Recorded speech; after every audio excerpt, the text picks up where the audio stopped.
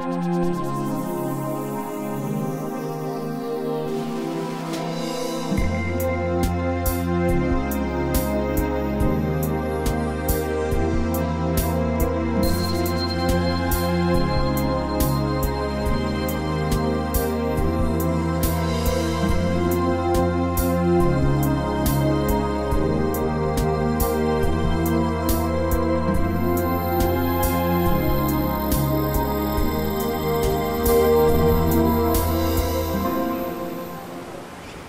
la pointe des châteaux, l'extrémité la plus à l'est de la Guadeloupe. Un éperon qui s'avance dans la mer, battu par les vents et la houle de l'océan Atlantique.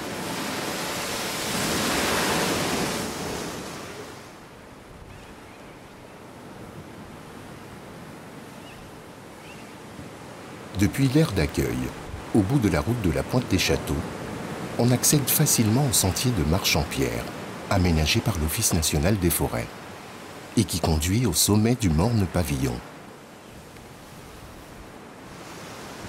Là-haut, une immense croix blanche, point de repère pour les marins qui arrivent du large, domine un paysage splendide.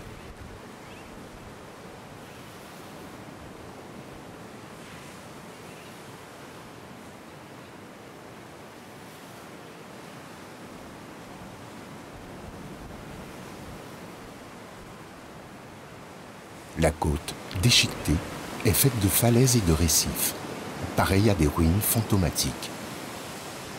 Au loin, apparaissent les îles de la Désirade, de Petite Terre, de Marie-Galante, et même par très beau temps, l'île de la Dominique. Le milieu naturel s'est adapté aux conditions climatiques et abrite une faune et une flore rares, d'une richesse exceptionnelle. Ce lieu grandiose est un espace protégé, désormais classé grand site national.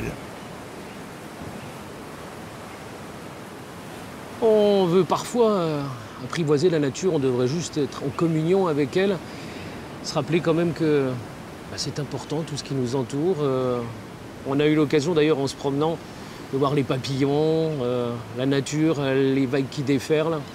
C'est toujours impressionnant de voir qu'on est tout petit par rapport à ces éléments. Un lieu qu'on croit connaître finalement. Oui, si vous demandez à n'importe qui, il vous dira oui, oui, effectivement, je connais. Je suis déjà allé, on voit, euh, on voit bien la désirade. Oui, mais vous savez que c'est un tableau qui change euh, tout le temps. C'est en perpétuelle évolution.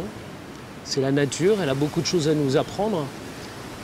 Donc je crois qu'il faudrait quand même être bienveillant par rapport à elle.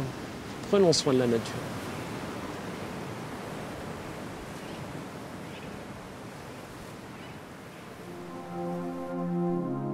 Voici quelques conseils pour profiter sans danger de votre randonnée. Renseignez-vous sur l'état de votre parcours et partez tôt le matin. Surveillez la météo.